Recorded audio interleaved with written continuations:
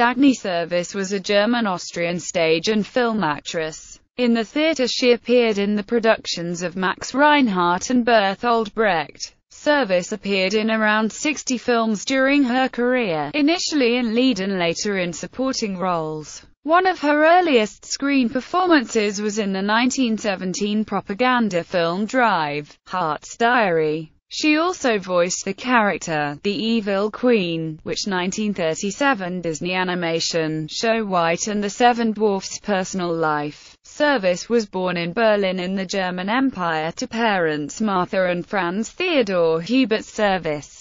She had with Erwin Goldarbeiter, a daughter, Evi Servaes, who also became an actress in movies and on stage. She had a brother, Roderick Servaes, whose son Arnhem became a stage actor as well. Through her father, she was cousins with Vice Admiral Reginald Servaes. She is also distant cousins to English actor Tom Hiddleston. Selected filmography Dr. Hart's Diary The Loves of Pharaoh Peter the Great Adam and Eve, Carlos and Elizabeth, Modern Marriages, Remembrance, Colonel Redl, Dilac and de Grille, The Student of Prague, Grand Hotel, The Weavers, Golgotha, Florentine, Nanone, A Prussian Love Story, Mirror of Life, The de Rigueur Case, A Mortal Waltz, Sensation Sproses Cassia, Friedrich Schiller, The Golden City, Lache Bajazzo, the Queen of the Landstrasse, Eroica,